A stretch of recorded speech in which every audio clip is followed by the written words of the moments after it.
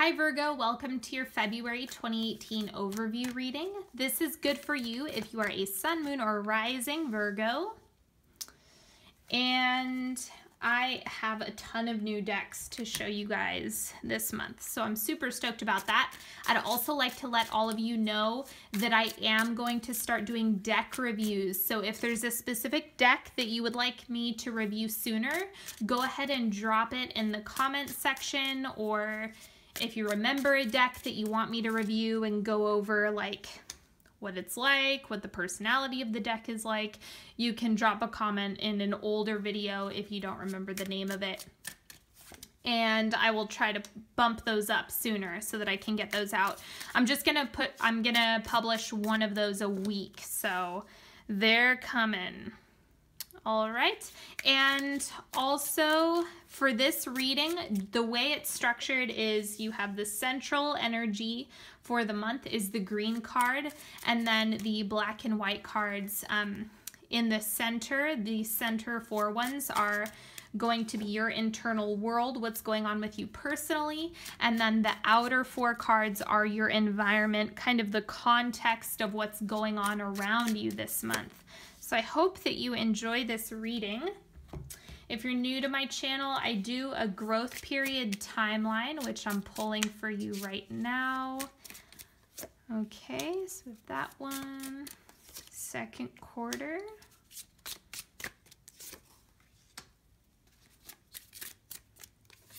All right, and okay, so let's get started. Angels of Abundance. So if you have a career question or you have a money question, this will give you some insight for the month of February on what's going on there. Gratitude list. All right, if you want to pause that and read it, you're welcome to. But this is all about showing gratitude for the things that you do have, for the abundance that you already have in your space. Um, the more you sink into feelings of lack, the greater that is going to become. So the more gratitude and appreciation and abundance you show and feel, that is going to support your manifestations 10 times more. And the truth bomb is look your desire in the eye. Okay, so this is like kind of going back to basics with asking what you want. Um, that's a big thing that comes up for a lot of the people that I work with is like, what do you want? Have you identified what you want? If you haven't done that, start there. Start with your desires, start with the things that you want, and then you can build off of that. But if you're aiming at nothing, you're going to get bottom of the barrel stuff. Okay, so the central energy for Virgo this month is patience. Oh boy, my least favorite thing in the whole wide world is being patient and having to wait, right? So I definitely see this as being something where you're coming into a period that is you have manifestations coming in. I don't know if you saw the 2018 reading, but that was one of the big things is you have these massive manifestations making their way to you. You just have to be patient because they're they're on the horizon, they're coming to you. And what's going on in your internal world? We have the Hierophant. Hold on, hold on. I'm going to pull this card first before I start reading that one. And we have the King of Wands. Okay, so there's definitely like your fire, your ability to create things is going to revolve around the structure that you give yourself. So the more disciplined you are in February, the better your results are going to be. That's not always the case, but for you in February, if you give it structure, if you stay disciplined, if you commit to yourself and the things that you want, if you commit to your desires, it is going to be a stellar month. So this is indicating don't slack off. Even if you can't see, whoops, sorry, I bumped the table. Even if you can't see what's coming next, be patient. Be patient with the things that are coming in. And with the Hierophant, it's saying, hey, the structure is going to support you and you already have the motivation, the energy, the um the like the internal fire all of that is there. It's just a matter of you kind of blending the two together like don't let the fire get too out of control and don't let the structure become fatiguing. It's about blending them together. And i want to remind everybody i'm sure you hear me say this a lot if you watch my channel regularly but listen to your body. A lot of people are completely disconnected from what they're feeling and that is giving you information on the next steps you need to take. So don't ignore that we also have Nine of Rods. See, you're like on fire in February. Like, if you don't get out of my way, you're going to get crushed underfoot. Like, that is what this card is about, is moving forward with such ferocity that it, it you're going to get where you want to go. Um, but it's just about not burning out too quickly. So keep that in mind if if you have a tendency to burn the candle at both ends, go all out really fast. Um, you know, just make sure that you are including patience in that as well. And then we, oh, Two of Cups. Here we go, connection. If you're looking for a romantic partnership, then that's definitely um, going to be woven in. I, I won't say because part of this is saying, well, if you're waiting, if you're waiting for partnership, it's going to be woven in to February, but it may not be full blast in February. Does that make sense? Like maybe some sprinkled dates that aren't going at the pace that you would like, right? So maybe you want things to speed up and go faster and faster and faster but you got to stay patient, you got to stay grounded. I am going to clarify the 2 of cups so we can see what you, what else you need to know about that energy.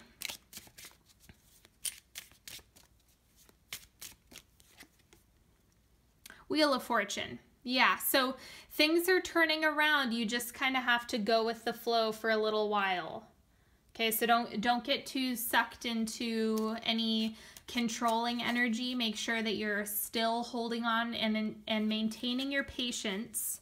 And things are going to naturally evolve with whatever connection that is. So it's going to be friendships for some of you, partnership for some of you, um, perhaps meeting a business partner if you need someone to help you manifest this thing. It's going to be a good month to call in that person. Okay, now in your external world, we have the Knight of Wands. Okay, so this is in reference to a Sag, Leo, or Aries. Uh, perhaps like, hey, yeah, you might be dating this person. Um, or this could be a partner who's offering you a lot of support, who's helping you stay grounded and disciplined in the things that you'd like to make happen. This could also be like a business partner or a boss or a friend who's able to to help you kind of see the direction that you want to go. And so this person is really, because I'm seeing them as being strongly connected to the Hierophant energy. And so this person is kind of helping you stay disciplined and giving you that motivation and fire. Okay, we also have the Two of Pentacles, the decision, you kind of not knowing what the outcome is going to be for whichever decision, but it's all about, um, again, I'm going to say listen to your body for that one. Let's see, I want a little bit more context to see what exactly is going on with that. Let's clarify. Two of Pentacles, what is that? Three of Winter. Okay, so this is the Three of Swords. Um, bleeding heart, right? So, um, ooh, that's interesting. If this is you working with some grief that's still hanging out, this is also about worthiness. It's kind of like this is indicating are you going to step up to the plate and really step into your full worthiness and abundance of, yes, I deserve good things? or are you going to shy away from it? Sometimes if we're holding on to grief, then it, it gives us permission to not get the things that we want, to not be in fulfilling partnership, to not move forward. I'm not seeing this as being like a situation. It's just, are you going to say yes to things that are good for you and no to things that are bad for you or not? Um, and so the more you can uh, heal and work with this grief energy, the easier February is going to be. We also have the Seven of Swords. So this is navigating a situation that might be a little bit tricky or require extra an extra layer of support, so to speak. So it's kind of like with whatever you're navigating, it might not be as simple as it appears on the surface. And so if you get support with that or you kind of take a few things off the table first, it's going to clear up that space so that solutions can come in if you're running into a situation that seems intractable or, or really frustrating and, and there's a lot of friction involved, um, just keep in mind that it, it might be wise for you to just kind of set a few things on the back burner temporarily and, and clear up a little bit of time and space so that you're more supported. Okay, and we also have two of swords. Okay, so we have two twos.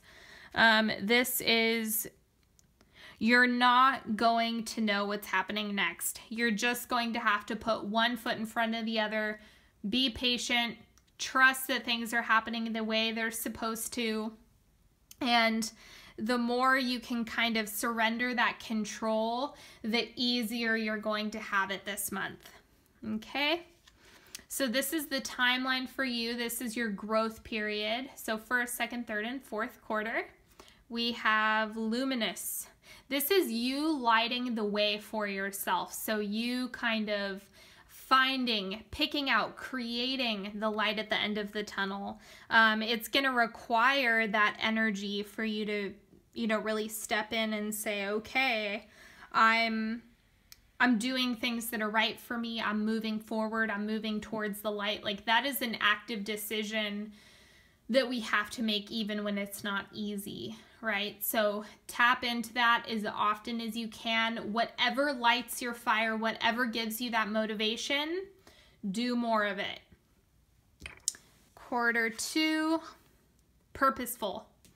Okay, so there's something going on here where you have